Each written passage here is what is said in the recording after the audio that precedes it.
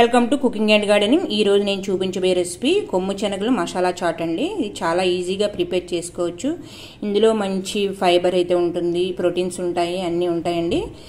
ఇది మసాలా చాట్ ఇది ప్లెయిన్ చాట్ అండి ఇది.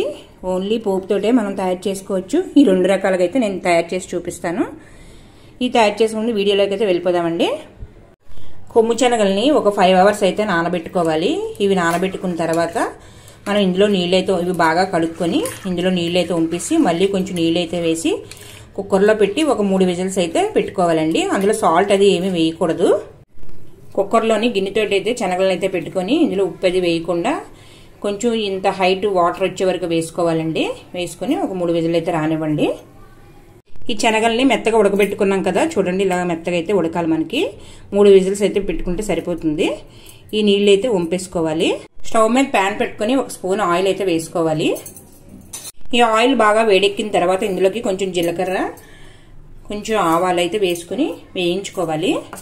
ఇవి బాగా వేగిన తర్వాత ఇందులోకి అర స్పూను అల్లం వెల్లుల్లి పేస్ట్ అయితే వేసుకోవాలి. ఇది పచ్చివాసన పోయేంత వరకు వేగించుకోవాలి. ఇవన్నీ వేగిన తర్వాత ఇందులోకి మనం శనగలు అయితే నానబెట్టుకున్నాం కదా. ఈ శనగలను అయితే ఇందులో అయితే వేసుకోవాలి. ఒకసారి అన్నీ కలుపుకోవాలి ఇవన్నీ కూడా అందులోకి ధనియాల పొడి అర spoon chaat masala half spoon garam masala half spoon కారం రుచి తగట కారం అయితే వేసుకోండి. కొంచెం సాల్ట్. ఇవన్నీ వేసిన తర్వాత బాగా మిక్స్ చేసుకోవాలి. ఇందులో వేసుకున్న మసాలాలన్నీ బాగా కలుపుకొని బాగా పడతాయండి దీనికి. ఇది కొంచెం చల్లారిన తర్వాత మనం చిన్న ముక్కలుగా కట్ చేసుకున్న ఉల్లిపాయ అయితే యాడ్ చేసుకోవాలి. కొంచెం టమాటా అయితే యాడ్ చేసుకోవాలి. కొంచెం కొత్తిమీరని కూడా యాడ్ చేసుకోండి. ఒకసారి ఇవన్నీ కూడా మిక్స్ చేసుకోండి.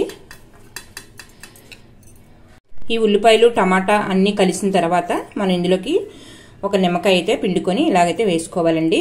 బాగా చల్లారాలండి. చల్లారిన తర్వాత వేసుకోవాలి. లేకపోతే ఈ వేడికి నిమ్మకాయ రసం చేదైతే వస్తుంది. ఇప్పుడు మనకి పల్లీ చాట్ అయితే రెడీ అయిపోయింది. శనగల చాటు. చాలా టేస్టీగా అయితే ఉంటుందండి ఇది. ఒక్కసారి మీరు కూడా ట్రై చేసి చూడండి. ఈ వీడియో కనుక నచ్చితే లైక్ చేయండి షేర్ చేయండి సబ్స్క్రైబ్ చేసుకోండి.